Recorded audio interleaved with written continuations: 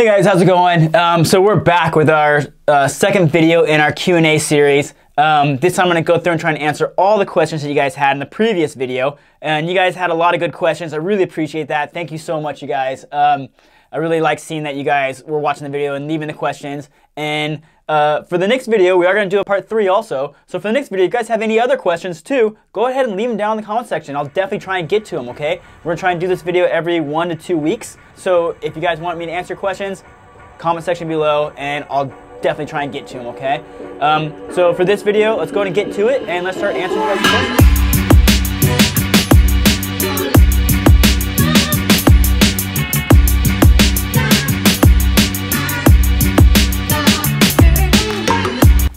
All right, guys, so I got all the questions up here uploaded on my phone.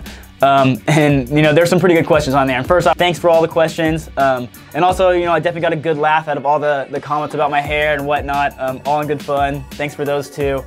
Uh, but let's get to it. So uh, the first question is from Alexandra M. She said, I got a piercing from you years ago, which is awesome. Um, and you provide a small plastic bag or two of sea salt. What brands do you recommend, slash would you ever plan on selling it on your site? Uh, first off, they are on the website. Um, just go to the aftercare section. They're, they're all there. Um, we definitely have the, the non-iodized sea salts. Otherwise, as far as at the grocery store, um, getting them on your own, there's a million brands out there. Um, just make sure it's non-iodized or it says this salt does not contain iodine, same thing.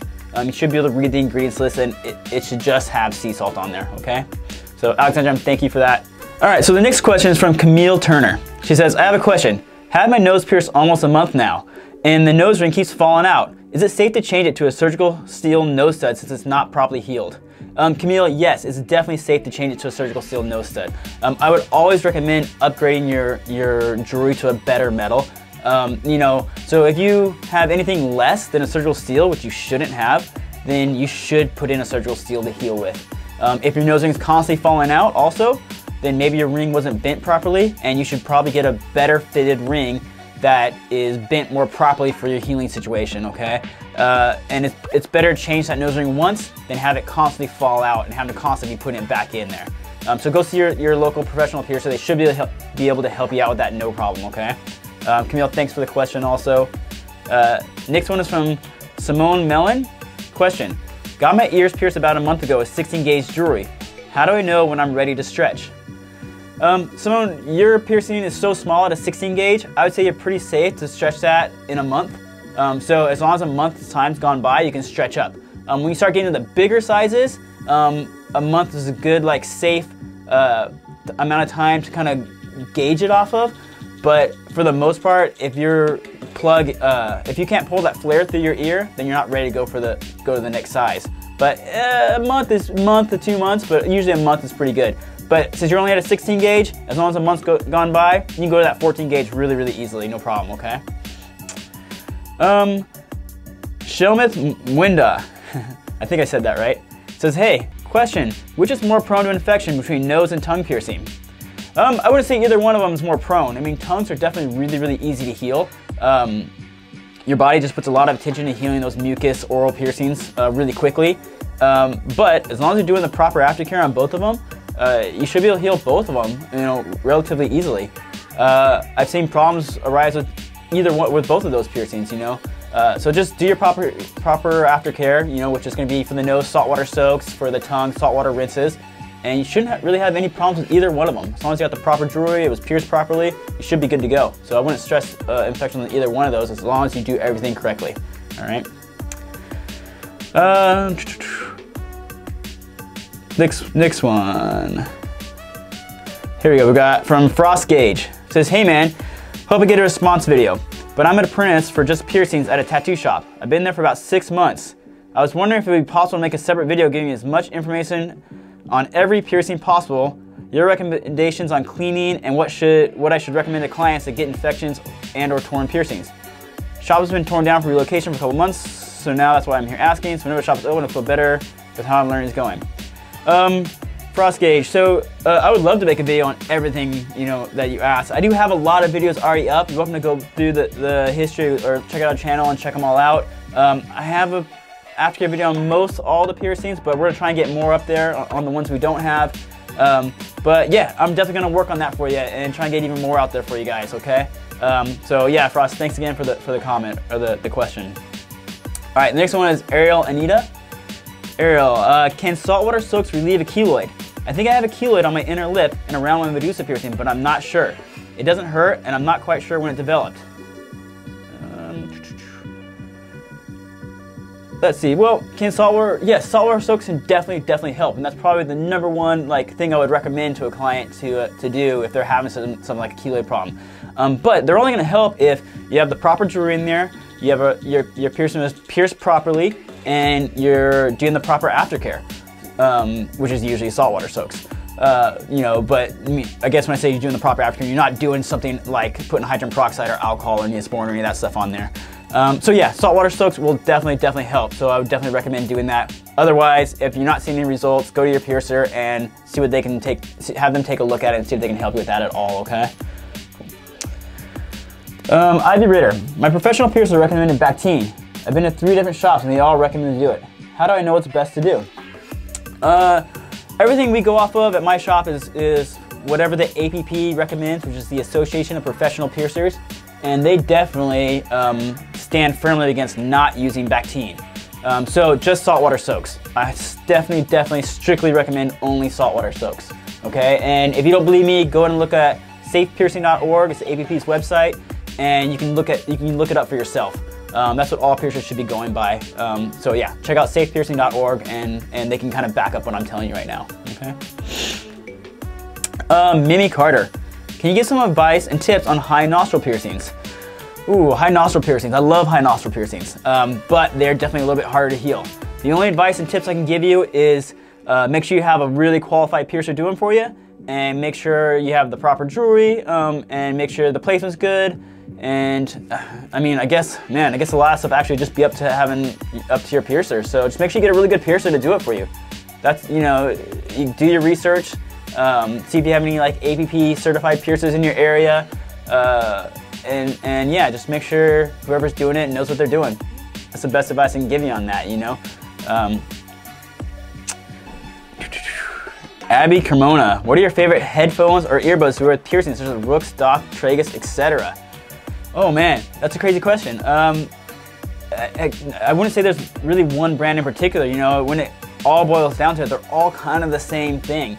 So just if you're gonna wear earbuds and stuff like that with, with those piercings, um, maybe hold off while the piercings are healing because use your jewelry a little bit longer. And then once the piercing's healed, downsize that jewelry so it's more fitted and those earbuds should fit in there really, really easily. Um, but there isn't really one particular brand that I've seen that works the best. Uh, just, you know, just Wait till the piercings are healed, downsize your jewelry, and then you shouldn't really have a problem with earbuds and stuff like that. But just know, while piercings are healing, they're not the most piercing friendly things to, to uh, wear in your ears, okay? All right, now we got uh, Melanie Ramirez. I got my nose pierced just about three weeks ago, and I've never had crust or dried blood or anything like that. Is that normal? Um, yeah, that's totally normal. Um, some people's bodies just, you know, you're just not gonna see that. You know, if your piercing's done really well, you got really good jewelry, uh, and you're taking really good care of it, um, yeah, I wouldn't sweat it. I mean, it doesn't mean your piercing's healed. Uh, your piercing's still gonna take like two to three months to heal on that one, but uh, you're just one of the lucky few that is just having no problems and no symptoms whatsoever, symptoms of healing, even though it is still healing, okay? Cool.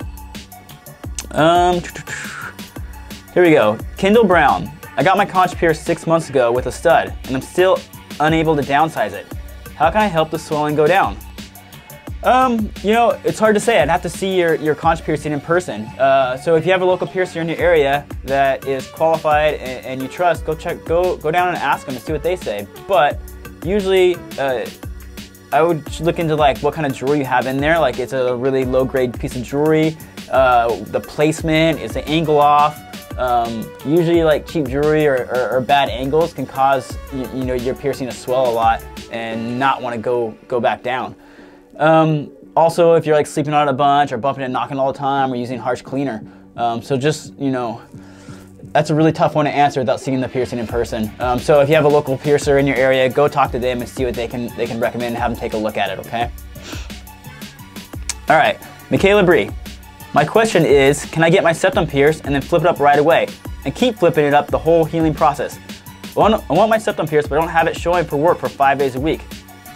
Okay, so Michaela, um, I'm always gonna recommend you to pierce your septum and wear it, or, or don't flip it up during the healing process because you have a scab in there. If you're constantly flipping it up and pulling it down, you're just like picking out a scab. So if you can, you can get it pierced, flip it up, and maybe just leave it up. Leave it up during the whole healing process. Um, and then once it's healed, you can flip it up and down. Healing on those guys usually takes about two to three months. Uh, so you want to try and keep the movement down to as minimum as possible. Um, but I see people heal piercings with them flipped up all the time, no problem, and two months goes by quicker than you think, okay?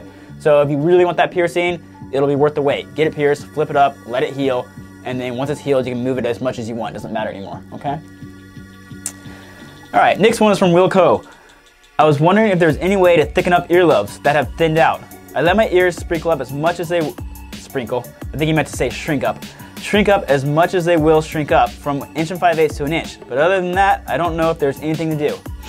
Um, when I used to have stretched ears from my own personal experience and seen a lot of my colleagues experience, uh, really, you're kind of do you kind of going about it the right way so far. Um, you want to let your ears shrink up um, as much as they will, and then slowly stretch them up. Take them out, let them shrink up again, slowly stretch them out. Um, you can grow tissue in your earlobes. I mean, unless your ears are just insanely thin and, they're, they're, just way too thin to the point of, of no return, uh, for the most part, you can uh, kind of generate more tissue on your earlobes and thicken them up.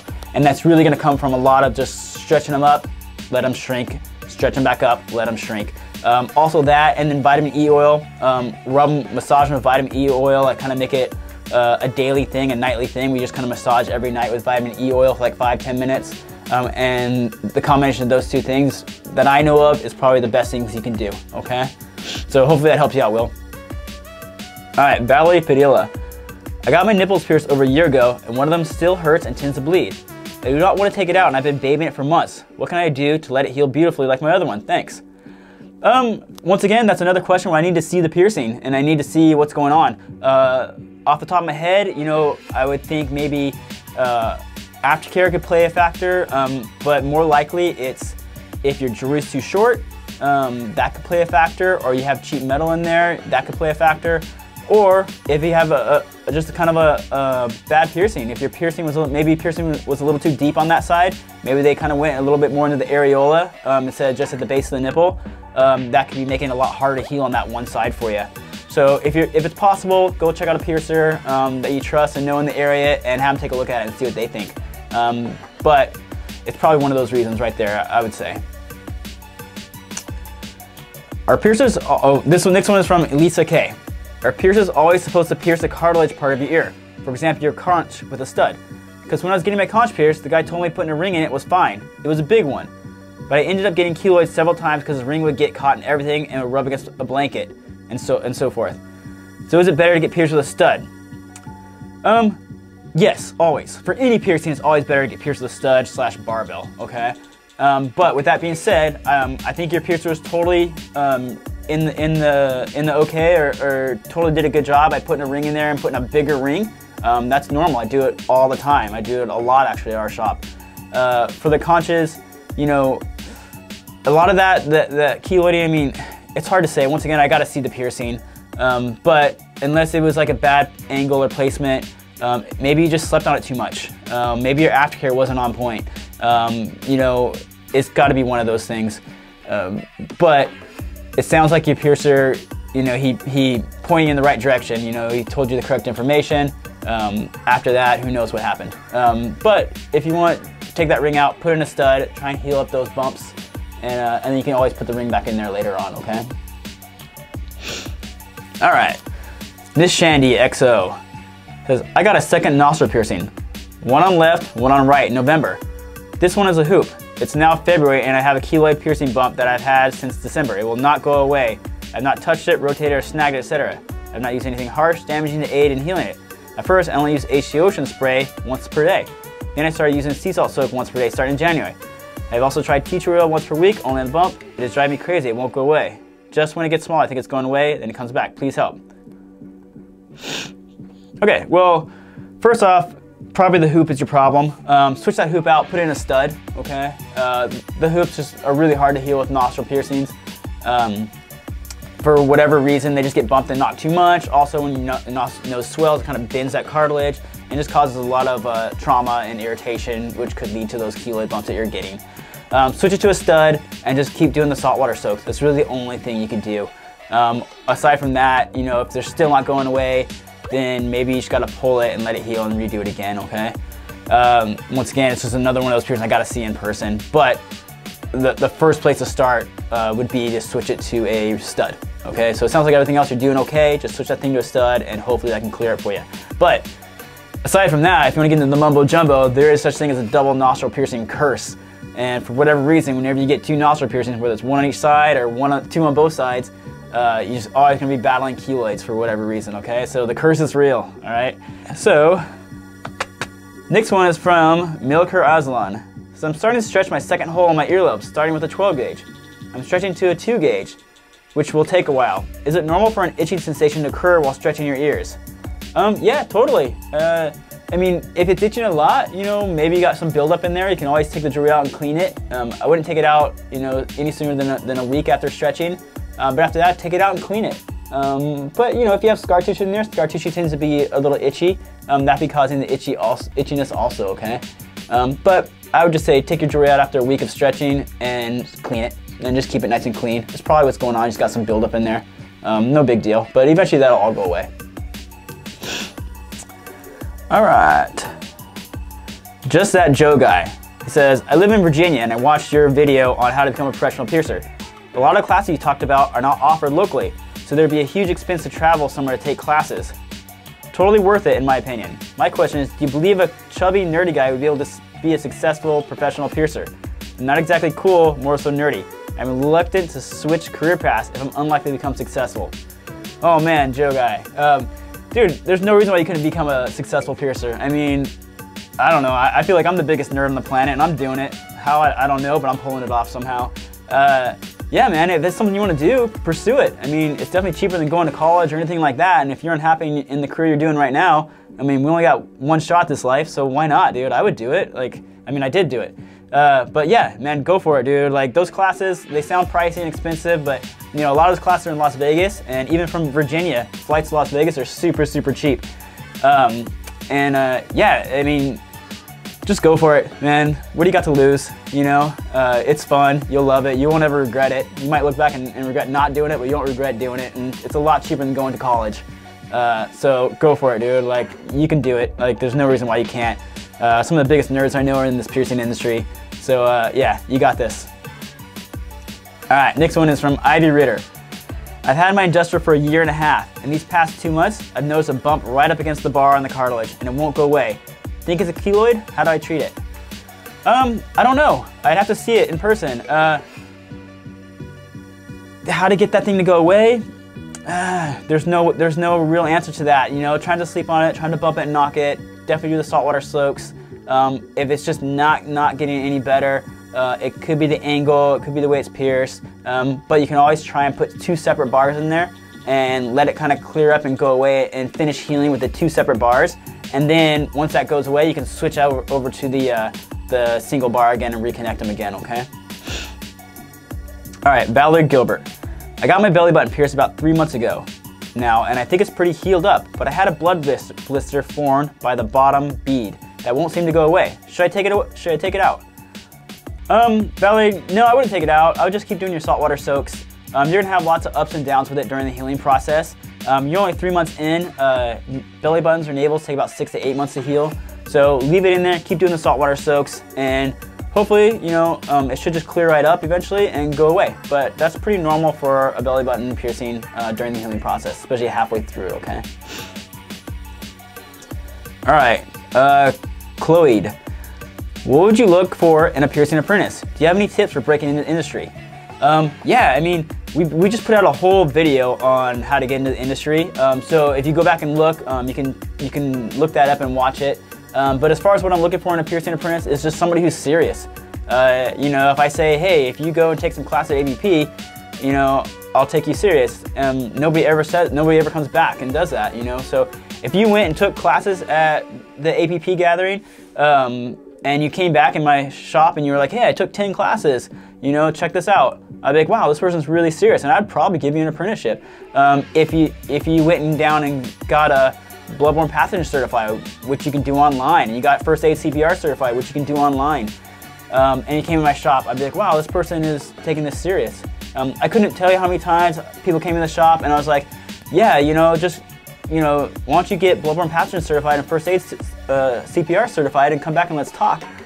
And I can tell you, nobody's ever done it. I don't know why, you know? Um, I think people, a lot of people just want to be handed the apprenticeship, um, but something as easy as going online and taking a $20 class, people can't seem to figure out. I don't know why. Um, and then APP, it's, it's a really cheap uh, week-long course of, of like a, tons of classes that you can take that, uh, uh, I mean, it's just a great way to get your foot in the door. And if someone took those classes and came into my shop, man, I would totally take them serious. Um, so that's where I would start. Go take those classes, get first aid, bloodborne pathogen certified, and then go around to the shops that you trust and you know are good shops in your area and talk to them and see what they say. I'll bet you they take you a lot more serious than if you hadn't done those things, okay? All right, guys, so next question is from Shanice Fontaine, okay? She says, I had a blowout when I stretched from a 9 millimeter to a 10 millimeter. I took it out and allowed it to heal. I actually downsized three or four sizes. However, when it was healed, I went up those sizes pretty easily, within a week actually. They just slid in one after another. No pain, no resistance or anything. How was that so? Um, I've always been told, and I'm not a scientist, I don't know anything anything about anything, but I've always been told by other colleagues in the industry that you know skin kind of has memory. And once again, we're using layman's terms here. It doesn't actually technically have memory, but what we call it is memory. And when you stretch your ears up and they shrink up, um, your ears just shrink up really fast. Uh, maybe that's because you're you've already generated more more tissue at that bigger size, and the tissue's still there. It's just shrunk up a little bit. Um, so you're not having to grow more tissue. You're just kind of literally stretching it. Uh, so yeah, that's totally possible. That's totally a thing. Um, as long as you didn't tear or, or cause any damage when you stretched up fast within that week back to your old size, then you're totally safe and you're totally fine. Um, yeah, you know, that's awesome. I'm glad it worked out that easy for you. Um, cool. Next one is from Celine Ryan. Um, she says, I got both of my third lobe piercings done literally a year and a half ago, and they're still acting up from time to time. It is like they're never healing. Am I doing something wrong? Um, once again, you know, I've said this a few other times, I'd have to see the piercings in person to be able to know exactly what's going on. But um, yeah, that is still a thing, that, or that is totally a thing. I mean, if you have really cheap jewelry in there, maybe your body's in a constant state of reaction and it's not healing up because of that. Um, so maybe make sure you have like a titanium. I would just switch to titanium. That kind of eliminates any factors of it being the metal. Um, and see what they do. Um, maybe start doing saltwater soaks again after you switch to that titanium. And uh, you know, the only other thing would be maybe if your angles are really bad or the piercings are really wonky.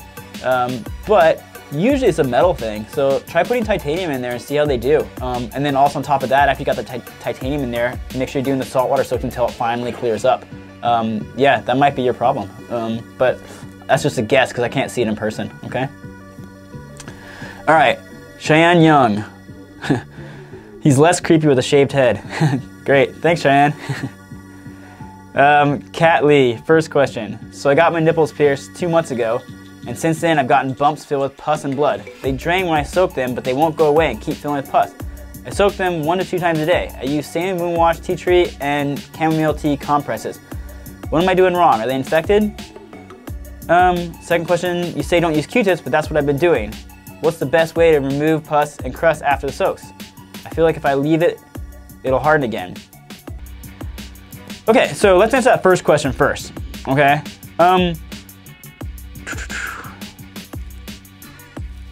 so you wanna be doing the saltwater soaks for sure, okay? Um, those bumps, you know, they could be from a few different things. Um, so saltwater soaks are gonna help them go away the best.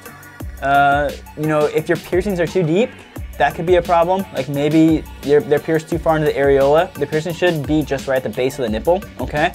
Um, also, if they're getting bumped and moved a lot, um, that could be a problem also, okay? So make sure you're keeping the movement down to a minimum, all right? Um, actually, no movement at all. So make sure you're not twisting or spinning or, or rotating the bars. Uh, but other than that, I would really have to see them in person to know exactly. But usually it's from being pierced too deep. Um, I'm not saying that's your case, but that's usually the case.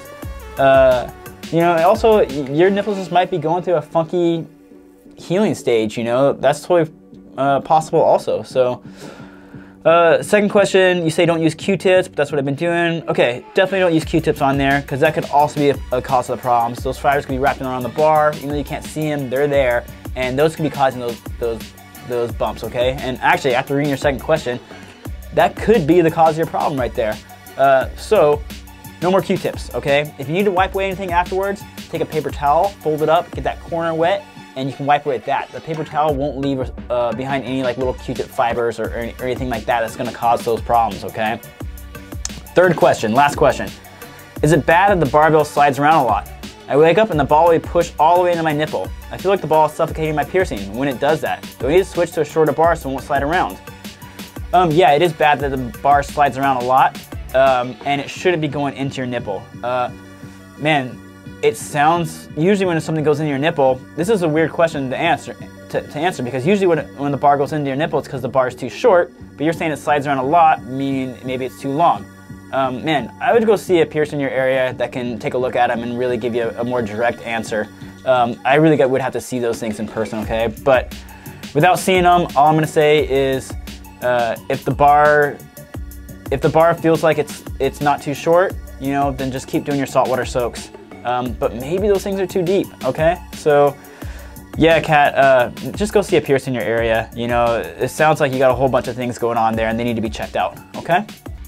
Cool, you guys. So that wraps up all the questions there. Um, thank you so much, you guys, for watching this video once again. I know it's a long one, but I just want to make sure I answered everybody's questions. Um, we're going to try and do this again for you in, in, another week or two. So if you have another question, go ahead and leave it below in, in the comments section, and I will definitely make sure to get to that for you, okay, guys? Um, thanks again for watching, as always, and we'll see you guys next video.